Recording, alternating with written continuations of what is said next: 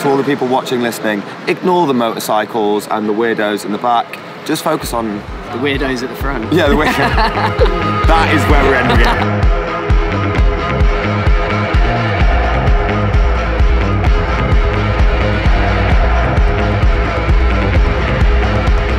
Everyone, how's it going? Sue here. Welcome back to the channel. This is the first video I'm actually recording after I uh, renamed the channel to Deck Whaaat. Um, let's see how long that name is gonna stick, but um, yeah, for now I kind of like it. Anyhow, I went to Reeperbahn Festival a couple of weeks ago at the end of September, and uh, I thought, while I'm there anyway, why not just take the opportunity to interview a bunch of bands? The first band I talked to was a band called Talk Show from South London, and I do tell you, if you have the chance to see them live, go do it. They were so, so good. The band just released their first single of their upcoming EP, Touch the Ground, which they produced with none other than Joe Goddard and Al Doyle from the British synth pop band Hot Chip, which some of you might still remember from the early 2000s. This is not the first time that Talk Show is experimenting with different genres, though. They already released another single called Trouble earlier this year, together with house music producer Eli Brown. In Hamburg, I had the chance to talk to George and Harrison from Talk Show, and I asked them about how they started their own band, what those collaborations meant for their own development, and about their number one tip for young new bands out there. So, without any further ado, let's see what they had to say. Uh, we are a four-piece band from South London. Been playing for like what, three, three years, four years? Yeah, we're kind of from all over the UK. I'm from Manchester. George is from Chichester. We're f- from everywhere, but we met in South London. It's kind of a little bit punky. It's a little bit dancey.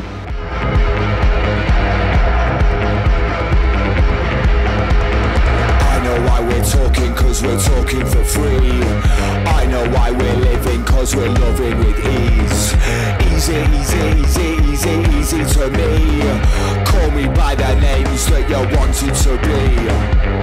In trouble now, in trouble now, in trouble now, in trouble now, in trouble now, in trouble now, in trouble now, in trouble now. Yeah, we love like Chemical Brothers. We love uh, Faithless. Um, we like Tricky. Um, but then stuff like the Stranglers and Gang of Four, and yeah, that's kind of where we're at. Yeah, we met at a house party. The kind of typical thing, being miserable in a corner of a room, complaining about the music. um, and then That was like the moment, wasn't it? that was like the str- the bolt of lightning that we gone. Ah, we got to do this. another weirdo time, like me. This is great. And I Um, think like both of us kind of moved down to London to meet people who were like-minded and shit. So we wanted to kind of start that project. And so when we did kind of meet, it was just like, okay, this is what I want to do. This is what I want to do. Kind of blah blah blah blah blah. Let's get in a room and let's see what happens. Yeah. And then um, and then we did loads Yeah, of yeah. rehearsals and stuff. And yeah, and then And that's- and that, and that, and the rest is history. I hate that line, but yeah, yeah, yeah. I know why you're tearing your world apart. I know why you're left with a calling card. Easy, easy, easy, easy, easy to please. Never left my life. We've been doing the kind of punk stuff for since we kind of started, and I think perhaps COVID and the whole like lockdown situation stuff really drove that kind of home as to what was important to us, and, and like so like I said, our live show is has always been like the most important part of talk show, and that part being creating that environment where people are enjoying it, and people are dancing.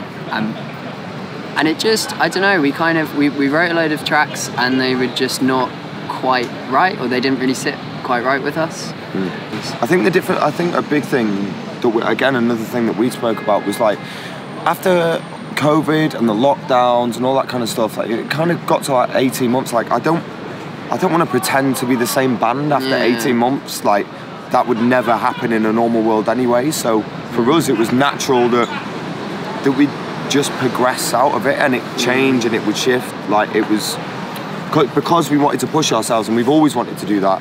And it And so, yeah, I just didn't want to pretend to be the same band. No. I don't think we wanted that. We wanted to prove that we were still growing and like changing and evolving. Like, it just it just kind of felt natural, and we were kind of like, okay, that's it. We we we're not that same band anymore. Let's experiment and push ourselves out there. like in lockdown, we weren't listening to punk really. Like we were talking about what we've been listening to, and it was like, I mean, uh, for me, I was listening to loads of soul, gospel, and loads of electronica, like loads of like different stuff. We I wasn't listening to the same bands that we were referencing previously, and uh, that's a big thing Yeah. again that led us onto the path that we're on now. Yeah, definitely. It was a bit of like a privilege to kind of just be in that space. And Yeah, then yeah. I think that kind of almost pushed us harder to be like, okay, now this is an amazing opportunity. Let's really make sure that we can kind of do it. And so we were working on the new EP, got on with them really well, and so kind of approached them and said, would you guys be up for doing the EP with us too? And then we went in over like Easter time, spent a week with them, and just kind of like did what we had been working on, pulled it all apart, put it all back together, and it like I mean it was just amazing. Like Yeah, yeah. working with like some of your heroes and some of like Yeah, people that you They've got some great stories. admire and it, yeah, exactly.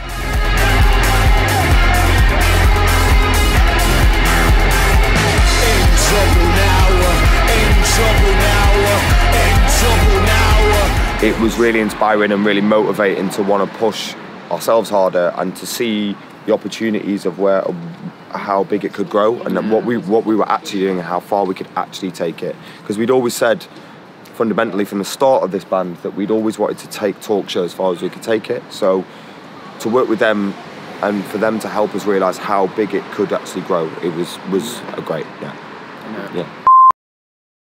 There's an element of like the atmosphere in, in, in a lot of underworld and born slippy like i got quoted for like it, it was about the, the atmosphere that was what we were trying to replicate i mean don't get me wrong we will never be able to write born slippy ever and i'm not ever going to pretend that but it was it was something that we were wanting to try and aim for And I think in like when we kind of were trying out those kind of things, it was interesting listening to that track and being like, how do we as a guitar band replicate these sounds? Yeah, yeah. what is it about this that makes it something that we really love? And like, again, how do we, still being us and still sounding like us, make a track that is more than just that? So Yeah. yeah, it was Yeah. kind of like a stepping stone almost Yeah. for us to kind of be like, right, let's really listen to this and let's kind of get into that headspace and think about how we can like approach a similar kind of thing.